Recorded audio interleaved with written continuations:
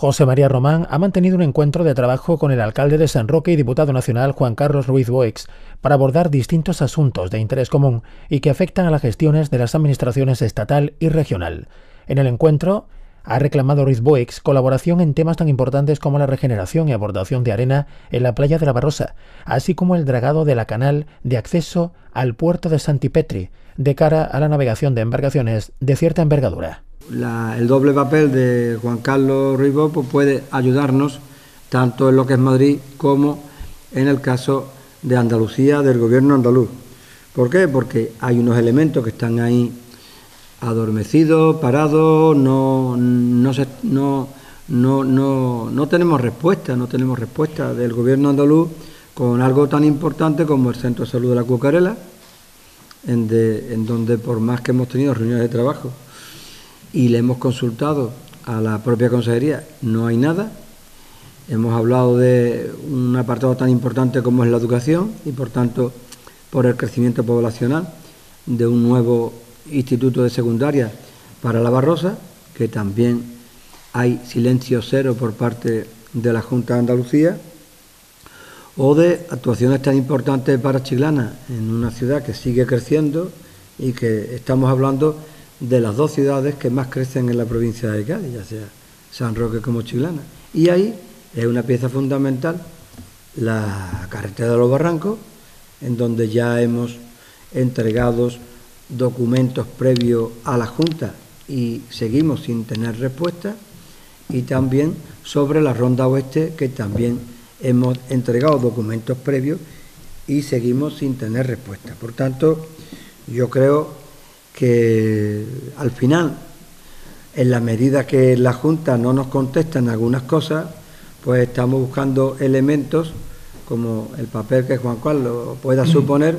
para encontrar personas que nos puedan ayudar para algo tan importante como la educación, nuevo instituto, la sanidad, nuevo centro de salud, la infraestructura con las nuevas carreteras en cuanto a la movilidad y en fin.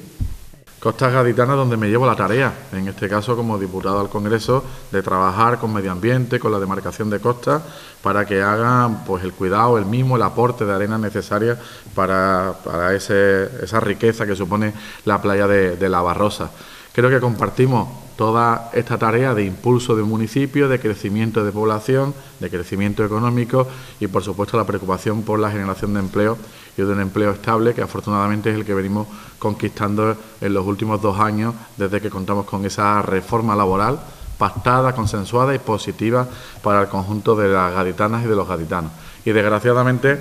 el tercero de las cuestiones, la que nos ocupa y nos preocupa, es que compartimos también la ausencia de gestión de la Junta de Andalucía, la ausencia de dedicación de un gobierno andaluz que da la espalda a los municipios de Chiclana, al municipio de San Roque y también a muchos puntos de la provincia de, Cádiz. He visitado Chiclana en los últimos meses en varias ocasiones con otras responsabilidades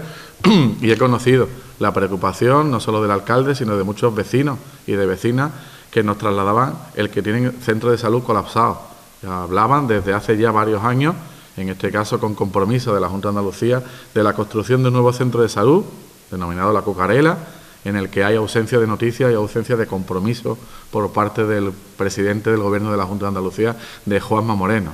Desgraciadamente esa ausencia de compromiso también la vivo como alcalde de San Roque en cuestiones que preocupan como al alcalde en materia de educación, en materia de la expansión que se viene desarrollando por parte de este Gobierno de la privatización de los centros educativos, principalmente de los ciclos formativos de grado medio, de grado superior, de lo que conocemos como la formación profesional, en la que desgraciadamente no hay un esfuerzo inversor por parte de la Junta de Andalucía y sí un aliento a que las empresas privadas sigan pues intentando eh, copar todo ese mercado de jóvenes que quieren, que aspiran a contar con una oportunidad de formación alrededor de una formación profesional